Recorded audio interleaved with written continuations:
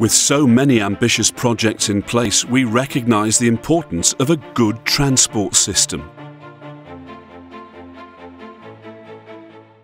That's why we've made plans to restore the passenger train line running between Woodhorn, Ashington, Bedlington, Blyth, Seaton Delaval and on to Tyneside.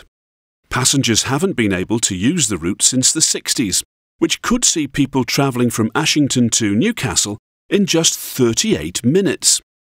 This not only gives you better access to and from the county, it also opens up a huge range of employment, education and training facilities in the area. Plans include restoring the old railway stations and building new ones to provide excellent transport options to many residents in the county. As well as this, you can also expect waiting and parking facilities on site and connections to local walking and cycling routes.